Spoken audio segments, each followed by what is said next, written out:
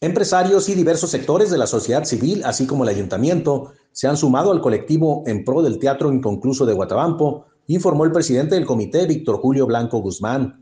Señaló que esa participación se ha visto, por ejemplo, en las tareas de limpieza del lugar, ubicado atrás del Colegio de Bachilleres y que está abandonado desde hace casi nueve años.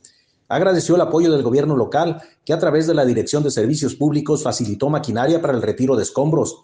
Blanco Guzmán dijo que esperan que más personas se sumen a estas acciones de rescate del Teatro Auditorio Municipal, que tenía una inversión de 12 millones de pesos y cuya primera piedra fue colocada el 26 de febrero de 2015. Buscamos darle vida a este lugar, precisó. No era posible verlo enmontado, vandalizado, en el total descuido durante tanto tiempo. Es lamentable que un proyecto en el que se invirtió mucho dinero no se haya concretado. Queremos saber por qué, pero sobre todo buscamos ir hacia adelante, puntualizó. En ese sentido, Víctor Julio Blanco indicó que el colectivo plantea que se realice una nueva obra, pero con plena participación del comité. Para Sonora a Diario, Raúl Armenta.